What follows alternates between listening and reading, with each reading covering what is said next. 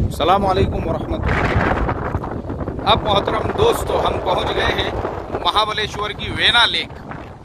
सुबहान अल्लाह इतनी बेहतरीन लेक और मैं अभी आपको इस वक्त के मेरे जो इमेजिनेशन है, वो आपको मैं मेरे अल्फाज में नहीं बता सकता हूँ। ये जो हवा आ रही है, यहाँ पे जो ठंडी हवा है, अल्लाह अकबर। मेरे जिस्म के रव रव में से जो है, उसको इंग्लिश में क्या बोलते हैं, हुसैन? रव रव को। रोम नहीं आ रहे कि मसाना जो मसामा क्या रहता हो जिसम का इंग्लिश में क्या? हाँ? बम्स हाँ जो एक एक एक एक जो सुराख है, उसमें हाँ गूज बम्स नहीं रे बाबा।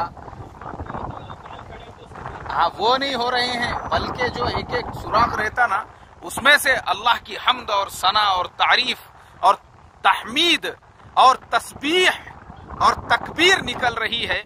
क्योंकि मैं आपको बता नहीं सकता हूँ। मैं ऐसी जगह पे खड़ा हुआ हूँ, एकदम लेक के बीचों बीच में, और मेरे चारों तरफ़ पानी ही पानी है, और मेरे अतराफ में ये हरा भरा जो पहाड़ है, वो आपको नज़र आ रहा होगा। और जो हवा चल रही है यहाँ पे, जो हवा, वो अनमोल है, अनमोल। मतलब एक करोड़ रुपये देकर भी आप ऐसा ऑक्सीजन खरीद नहीं सकते। इतनी यहाँ पे जो है तेज़ी से हवा चल रही है ठंडी ठंडी और उसके साथ में बादल जो है, वो जिसम को टकरा टकरा के आगे बढ़ रहे हैं, और यहीं पे खूबसूरत मस्जिद भी है, उसका भी हम आपको दीदार करते हैं। चलिए मस्जिद का जैसे ही दीदार हो दुरुज शरीफ पढ़ना चाहिए। पढ़ो ज़ोर से ही। अल्लाहुम्मा सल्ली सय्यदना व हबीबना व शफीआना व मौलाना मुहम्मदी व अला अली सय्यदना व हबीबना व शफीआना व मौलाना मुहम्मदी व बारिक व सल्लिम। माशाअल्लाह माशाअल्लाह मस्जिद जो है एकदम खूबसूरत और मस्जिद के ऊपर जो झंडा है वो भी माशाल्लाह पूरी हवाई हवाओं के तूफानों के साथ में लह रहा है लह रहा रहा है। और माशाल्लाह क्या मंजर है यार ये। क्या हवा है यार ये। सुबह अल्लाह क्या पानी है यार ये। क्या ऑक्सीजन है यार ये। माशाल्लाह सुबह अल्लाह अभी मेरे पास में अल्फाज नहीं है इसको बयान करने के लिए। आ, मैं क्या बोल रहा था? हाँ मुझे अभी याद आया। इटली के अंदर। इटली के अंदर। अभी जो कोरोना की पहली लाट चल रही थी, आज से एक साल पहले, उस वक्त का वहाँ का एक वाक्य मैंने किताब में पढ़ा कि एक आदमी इटली के अंदर, उसने अपनी जो डिक्की होती है, पैसों की डिक्की, वो पूरी डिक्की भरा उसने और डिक्की भर के वो पूरे पैसे हॉस्पिटल वालों को ले जाके दे दिया।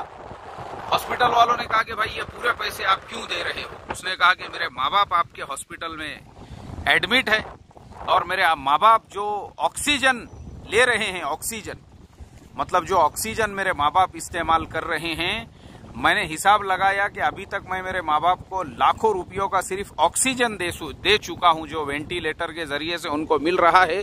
लेकिन हमारा खुदा, हमारा परवरदिगार, हमारा पालने वाला बचपन से लेके आज तक हमको बगैर वेंटिलेटर के, बगैर पैसों के जो ऑक्सीजन दे रहा है, करोड़ों रुपयों का ऑक्सीजन बगैर पैसों के, बगैर कीमत के हमने उसको इस्तेमाल कर लिया।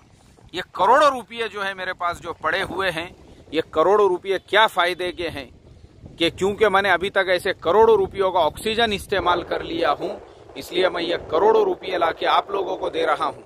ये उस अल्लाह के नाम पर जिसका मैंने अभी तक जो है ऑक्सीजन इस्तेमाल किया, ये पैसे लोगों के बीमारी के इलाज के अंदर तुम लोग खर्च कर दो, क्योंकि ये उसकी कीमत मैं तुमको दे रहा हूँ, जो ऑक्सीजन मैंने अभी तक जो है बगैर पैसों के इस्तेमाल किया। सुबह अल्लाह मेरे मोहतरम दोस्तों, वाकई में भी हम लोग अल्लाह की कितनी नेमतें इस्तेमाल करते हैं, लेकिन उसकी हमको कदर नहीं होती है।